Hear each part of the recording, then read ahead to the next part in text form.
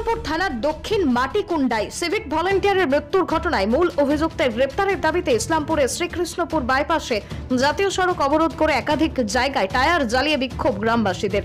অবরোধের জেরে প্রায় এক ঘণ্টা ধরে যান চলাচল ব্যাহত। খবর পেয়ে ঘটনাস্থলে পৌঁছয় পুলিশ।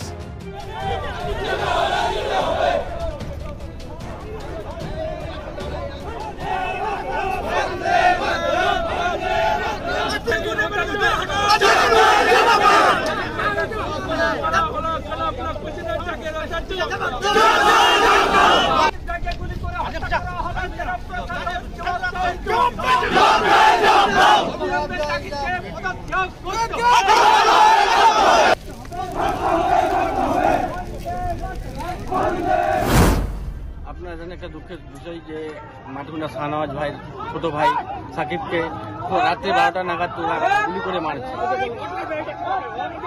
এটাই মেন কারণ হচ্ছে জাকিরের নেতৃত্বে সবকিছু হচ্ছে, আপনারাও জানেন, আমরাও জানি, পুলিশও জানে। কারণ এভাবে যদি এই তিন সালের ব্যবধানে, তিন সালের ব্যবধানে কম করে সাতটা মার্ডার করল, যদি উনাকে, উনি এভাবে মার্ডার করতে থাকে, তবু মমতা বন্দ্যোপাধ্যায় মুখ্যমন্ত্রী যদি উনাকে ব্লক প্রেসিডেন্টে রাখে, তাহলে আমরা, আমাদের পুরনো কর্মী চৌধুরী সাহেব, আপনারা জানেন যে উত্তর দিনাজপুরের একমাত্র বিধায়ক আব্দুল করিম চৌধুরী তার কোনো সম্মান নাই। আজকে যিনি ব্লক প্রেসিডেন্ট আছে ওনার কথা মতোই পুলিশ উঠছে আর বসছে।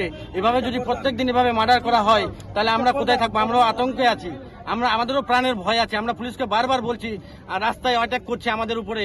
আমাদের উপরে কালকে, আমাদের উপরে রাস্তায় অ্যাটাক করছে। আমাদের তো কালকে প্রাণের ভয় আছে।